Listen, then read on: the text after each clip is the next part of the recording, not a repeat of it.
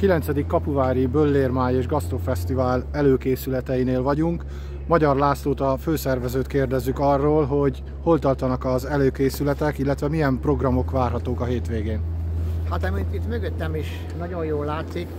a sátor építéssel már a,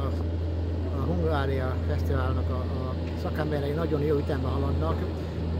Meg kell mondanom, hogy közel 2000 négyzetméteres a sátor, most már le is van padlózva. Bizony benne egy hónap délelőtti órákban az asztalokat is behelyezik, és akkor meg tudom csinálni a csapatoknak az elosztását. Ugye figyelni kell arra a csapatoknak a beosztásánál, hogy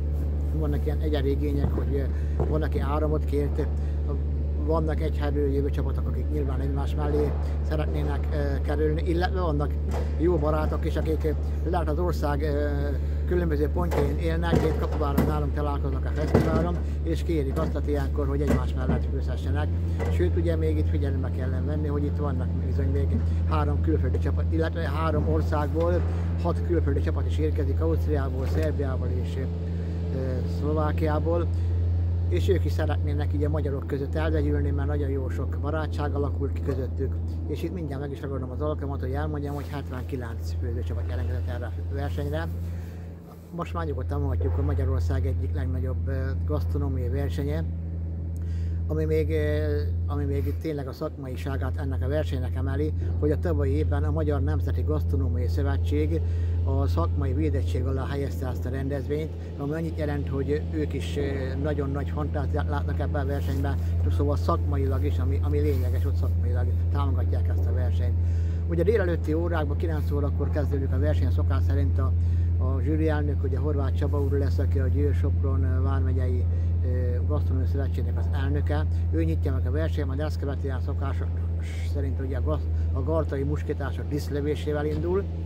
és 10 órakor lesz egy érdekes program, amikor a szabad tűző lovagrendnek a jelenlévő képviselői előtt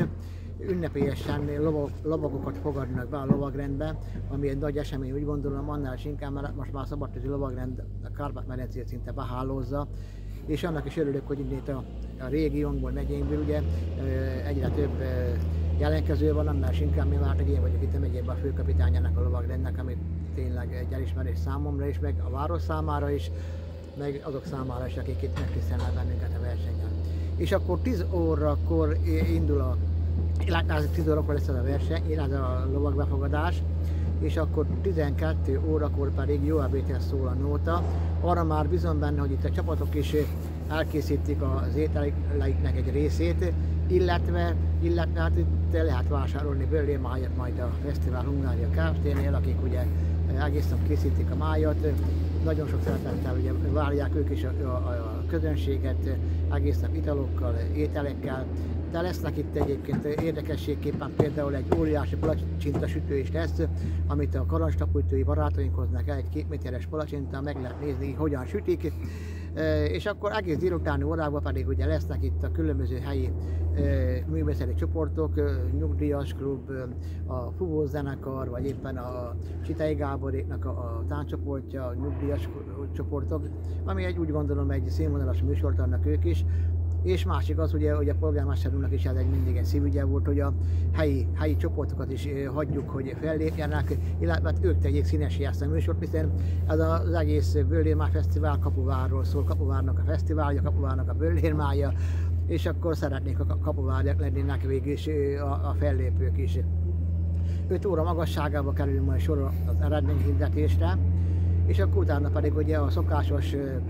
műsorok lesznek, ugye a Desperado, illetve majd legvégén pedig a Kacol felélek a koncertje fogja zárni ezt a műsort.